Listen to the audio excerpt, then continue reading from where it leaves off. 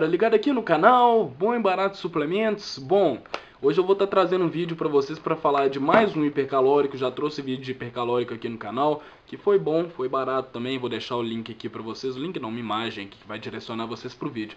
E eu queria falar dos pontos positivos e negativos desse suplemento aqui. No título provavelmente vocês estão, vão estar vendo Get Big da Midway, bom e barato mais bom desse suplemento é entre aspas, e é muito entre aspas, porque o gosto desse suplemento aqui é o pior que eu já senti na minha vida. É o pior gosto de suplemento que eu já vi. Aí vocês vão falar: "Ah, mas marombeiro não tem que saber de gosto, tem que tomar qualquer coisa". Vou falar uma coisa para vocês, velho. Isso não existe. Não existe. Uma coisa é você ter um gosto aceitável, um gosto que às vezes não é tão bom que você não gosta, mas que dá para você beber normalmente. Esse suplemento aqui eu tinha que tapar o nariz para beber. Coisas assim ocorrem até o perigo de ânsia de vômito. E isso é um perigo para vocês. Ainda mais para quem está querendo ganhar peso. Quem está querendo ganhar peso não vai querer vomitar. Entendeu? Então, o gosto desse suplemento aqui é muito ruim. Se você tem problemas com na garganta, não consegue tomar qualquer coisa, não passe perto dele. Se você não aguentou tomar albumina, saia de perto desse suplemento, já pode fechar o vídeo. Então, vou continuar com ele.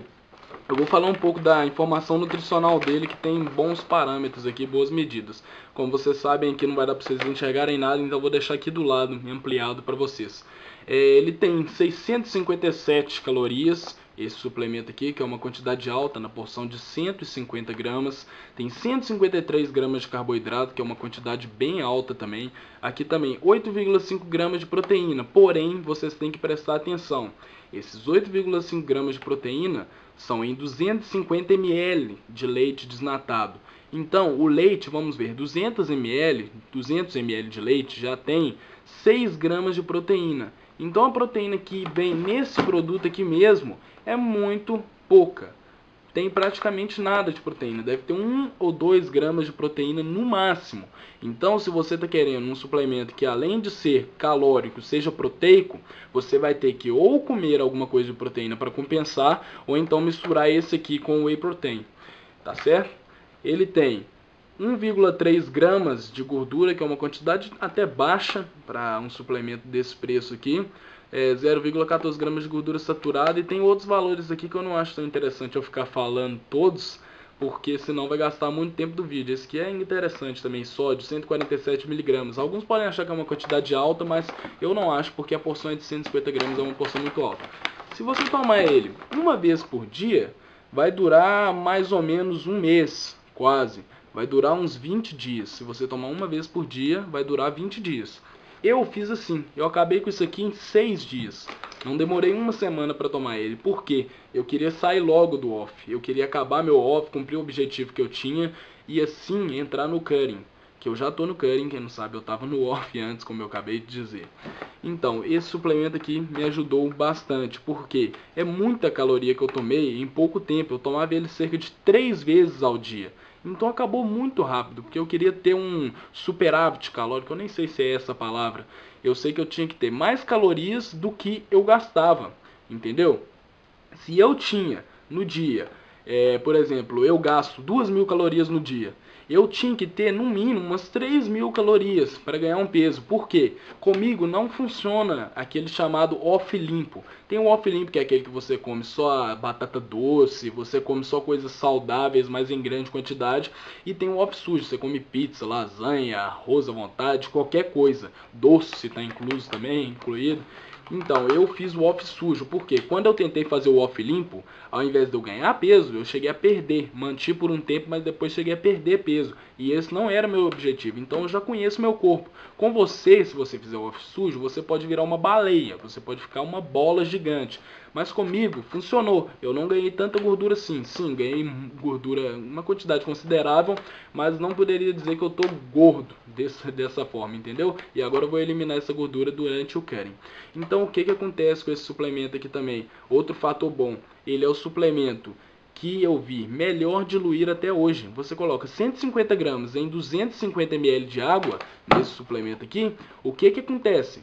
Ele, se você fizer isso aqui na coqueteleira, ele já vai misturar. Eu não posso mostrar aqui pra vocês porque ele já acabou, tá vazio aqui dentro, tá certo? Eu coloquei um pote aqui só pra dar pra para vocês verem melhor. Então, e outro fator que eu gostei muito, ele tem 3 quilos, né? Vou mostrar aqui para vocês. Vocês estão vendo esse saquinho aqui dentro? Ah, caiu. Caiu um pouco aqui, mas tá bom, não sabia que tinha isso aqui. Ele vem três saquinhos desse aqui, aqui dentro. Eu achei uma coisa muito boa, por quê? Porque te ajuda a guardar os suplementos. Você não precisa ficar colocando a mão aqui dentro, ó, toda hora para retirar o suplemento é muito bom. Eu pegava esse saquinho aqui, transferia ele para um pote, o que tinha aqui dentro, e aí me ajudava muito na, na hora de tirar o suplemento. Eu acho que as empresas deviam pensar mais em fazer isso aqui, distribuir de 1 em 1 quilo, que eu acho que é uma coisa muito interessante. E um fator negativo dele é que ele não vem com scoop. Eu sei que vocês já estão cansados de me ouvir falando isso, mas eu vou repetir, porque quem não viu o vídeo não está sabendo dessas coisas. Quem não viu meus outros vídeos, quer dizer. Todo suplemento tem que vir com scoop. Por quê? Para que assim a gente possa ter a quantidade certa desse suplemento. Eu disse que eu coloquei 150 gramas, mas talvez 150 gramas do scoop que eu usei para colocar não é 150 gramas desse produto aqui.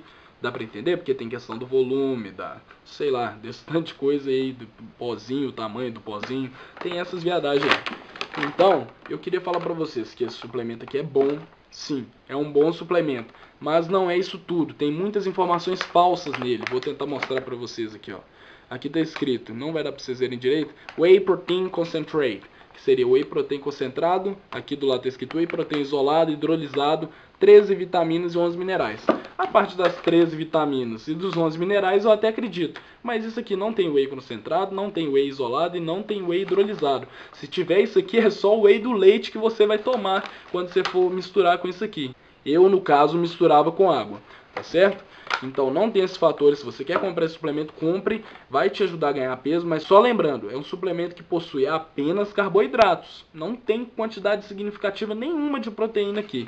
Então, se você está querendo suplemento proteico, passe longe desse aqui, tá certo? Esse foi o vídeo que eu queria trazendo para vocês hoje. Queria falar para vocês ficarem com Deus. Se inscreve aí se você não é inscrito no canal ainda. Deixa um joinha se você gostou, deixa negativo se você não gostou, mas diga por que você não gostou do vídeo também nos comentários. Então foi isso, queria falar vocês ficarem com Deus. Valeu, falou, até o próximo vídeo.